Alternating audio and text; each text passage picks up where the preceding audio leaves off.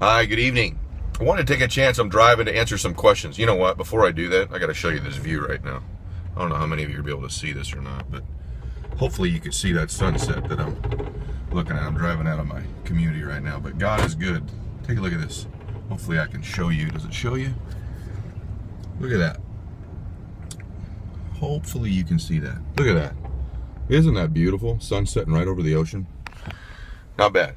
Anyway, um, I want to take a minute and just answer a couple of the questions that I keep getting on Twitter and my uh, uh, on my uh, website, etc., Facebook, all that stuff. So, one of the big questions I get asked about lately is mentors. How do I feel about them? And um, how do you get one? What do you do with one? I, I love the idea. I wouldn't be wherever I am in my life wherever it is that I am right now, I wouldn't be here without my mentors and my uh, my coaches. And so I'm a huge fan of, of that whole concept and believe completely in the principles of it.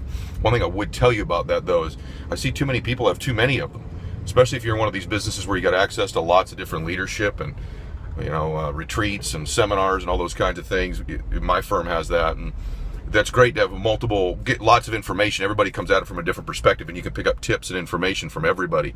But a mentor you should have one. And uh, they may change over time as you grow but i'd have one person because that's an intimate relationship. They have a lot of influence on you.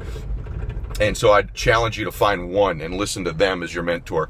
You can get coaching and tips and information, but in terms of real mentoring, real sculpting of your character, of your identity, and all those things, I recommend to you that you have one of them. And so, what I want to talk to you about, though, is the principles in doing it. One, one thing I want to share with you is the idea that proximity is power. Don't forget that. The closer somebody is to you, the more influence they have over you.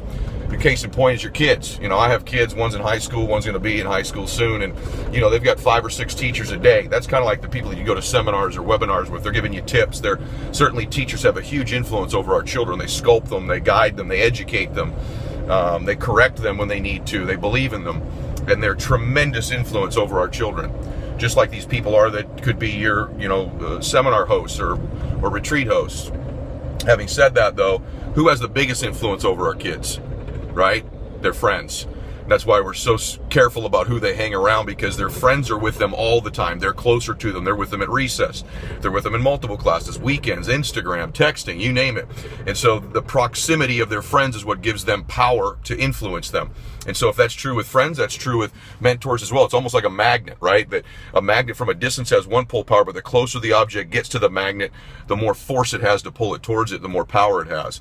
And so why do I tell you all that? I tell you all that because I would pick one mentor and I would try to get close to them over time. See, the highest form of influence is friend. And so, usually, when it starts out and you want to get a mentor, it's somebody you'd like to be like in a particular area of your fitness, your faith, your finances, the business you're with, whatever it is.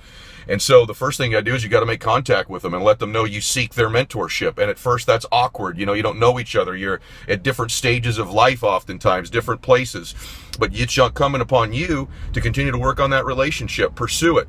And as they give you coaching and you follow it, I think you can find that that, that first contact you make can become an association and there's some influence there. And then from association, it can move to friend over time. And my great mentors have become my friends. That's when they really influence me. Some of them have become like brothers or sisters, and then we influence one another. The law of reciprocity kicks in because we're bringing value to one another, and you've got a wonderful relationship that's mutually beneficial. But my point being that you've got to work on the relationship to take it from contact to association to friendship. And the way you do that is that when they give you coaching and guidance, you actually go do it. You can't just say, be my mentor, and someone does it. That's not fair. You have to earn that. The way you earn that is when they give you specific things to go do and you do them and you grow and mature, that association can become a relationship and then it can move into become a friendship. And so, because why? Because people like people like them most people's friends are like them. And so the more and more you become like your mentor and do the things they ask you to do, the more and more you can move into that friendship position with them.